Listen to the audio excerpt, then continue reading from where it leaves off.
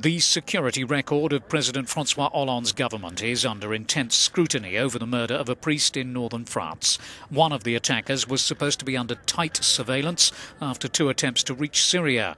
French Prime Minister Manuel Valls has admitted the French justice system failed. He told newspaper Le Monde Adel Kermiche's house arrest with electronic monitoring was initially ordered by a magistrate specializing in jihadism cases and confirmed by three experienced appeals court judges. We must recognize the failure.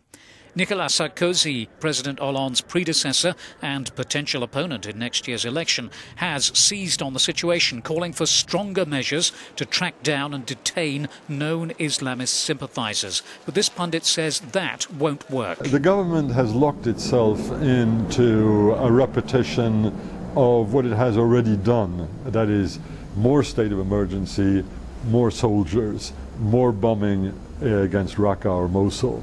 Uh, uh, these three things didn't work in the past. Uh, it is unlikely that they're going to work much better uh, in the future.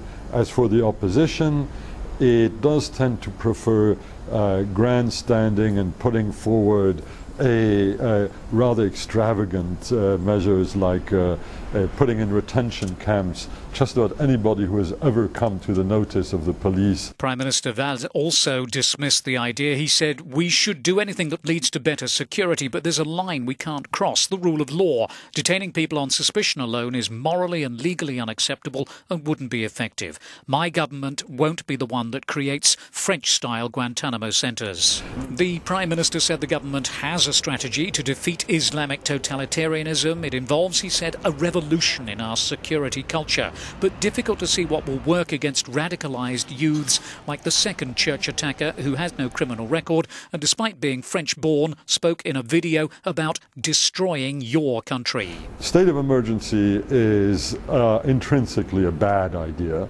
Uh, because it simply pushes the terrorists into deeper uh, cover, uh, clandestinity. They adapt quite well to states of emergencies. Surveillance, yes, but we should not kid ourselves.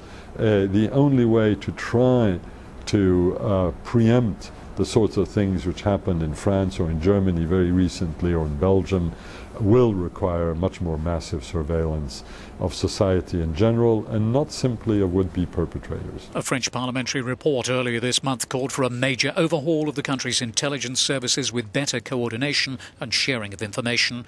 And as the Prime Minister warned, this war will be long and we will be subjected to other attacks.